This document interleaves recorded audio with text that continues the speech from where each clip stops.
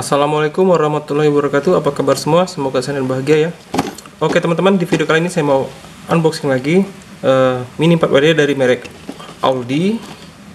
Ini keluaran terakhirnya ya Jadi ini dikasih kode NF22 untuk series yang terakhir ini teman-teman Jadi di series NF22 ini Semuanya sudah menggunakan front motor Oke ini penampakannya Kit yang saya review ini adalah kit dari karakter utamanya di anime Go for Speed. Oh ya, kalau nggak salah saya ini namanya Along ya. Saya baru ingat Along. Hai Along. Oke, ini uh, bagian kemasan box sampingnya teman-teman. Ini seperti ini.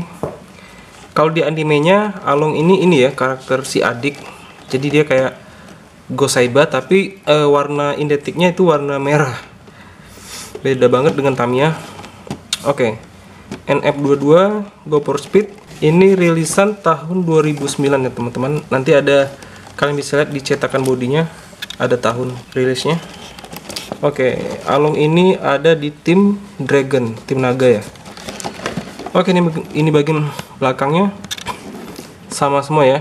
Kalau untuk uh, desain dari box belakangnya sama semua. Oke langsung aja saya unboxing.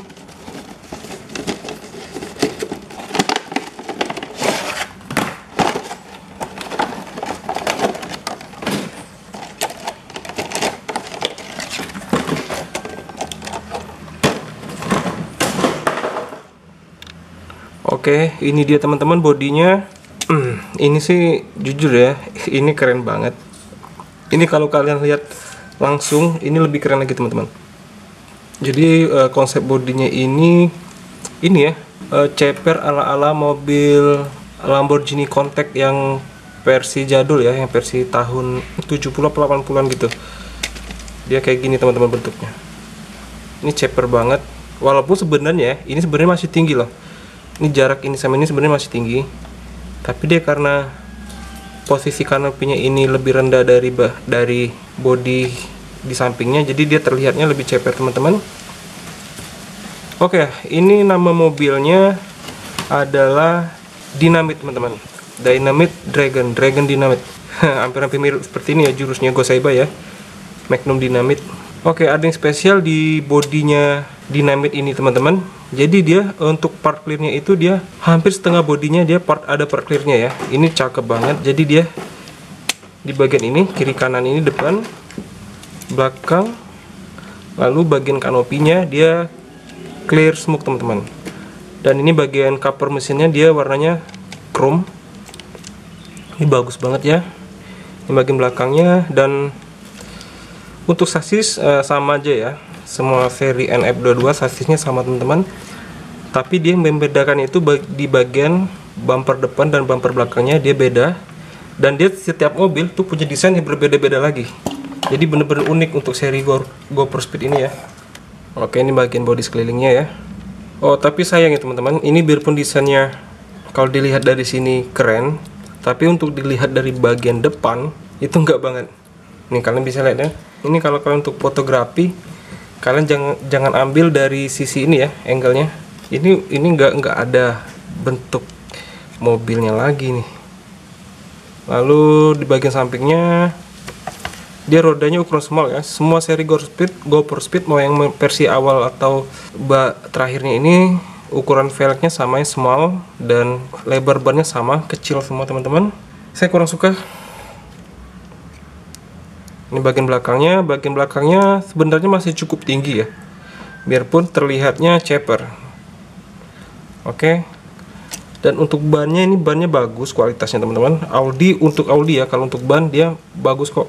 Dia karet itu soft nggak keras seperti merek KW yang lainnya. Dan rollernya juga ini dari bawah aja bisa dipasangin. Tapi untungnya sih Audi bumper depan belakang ini bisa kalian lepas ya teman-teman. Oke langsung aja saya buka ya bodinya.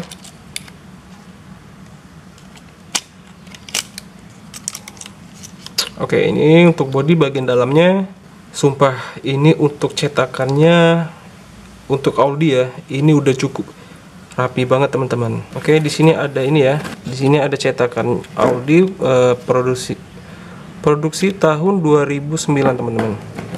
Ini banyak banget ya markingnya di sini ini ada made in China nya di sini dan ini mungkin ada kode kode produknya.